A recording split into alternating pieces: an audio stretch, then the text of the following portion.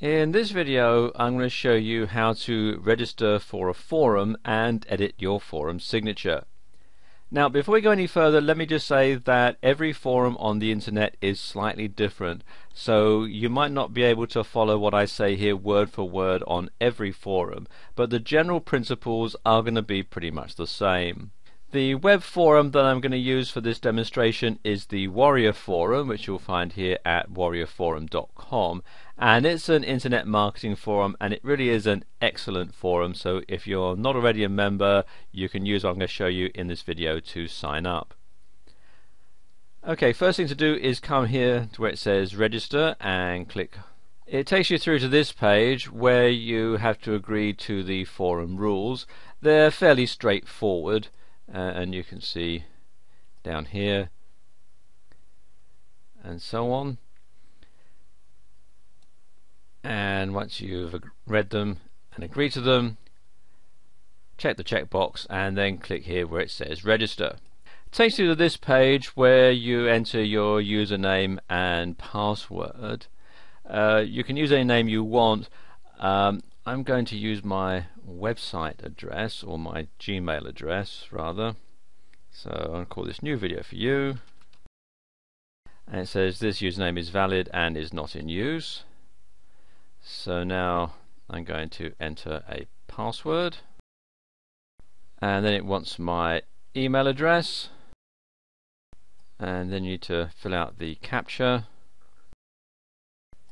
and the random question and then any additional information like if you were referred by somebody uh, your time zone I'm in the UK so I'll put my GMT time zone in there. And then automatically select for daylight savings time. And then your mailing options. Mail from the administrators is one that you want to receive so you should keep that one checked and you can also opt to receive email from other members and then click here to complete the registration. Then you need to confirm your membership by clicking on the link in your email. So I'll just go to my Gmail account now. And there we can see the email from the Warrior Forum. So I'll just open that now.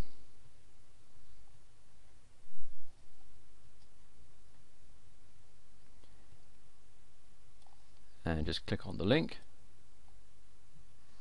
and there we go. Everything's now confirmed.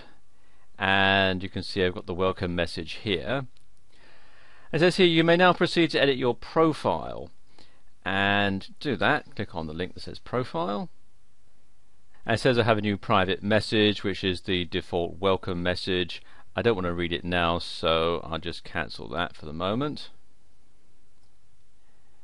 And I can edit my details but the one that I really am interested in for the moment is editing my signature, which I'll find here under settings and options. So I'm just going to click on that.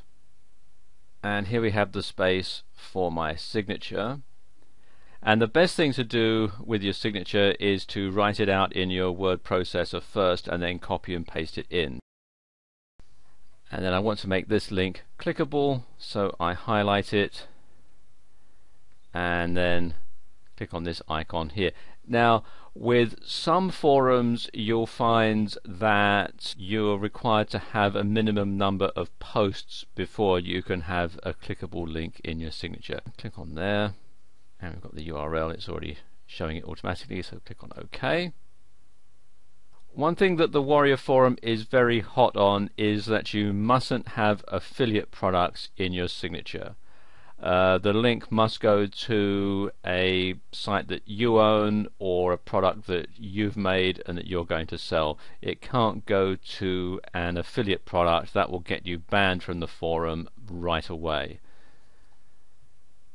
And then what you can do is click here it says preview signature and if I scroll down you can see there it is there's my signature. And this will appear underneath every post that I make on the Warrior Forum. So when everybody goes to read my posts they can see this at the bottom of every post. And it's a great way of driving traffic to your website. So there you go. This is how you sign up for a forum and edit your signature.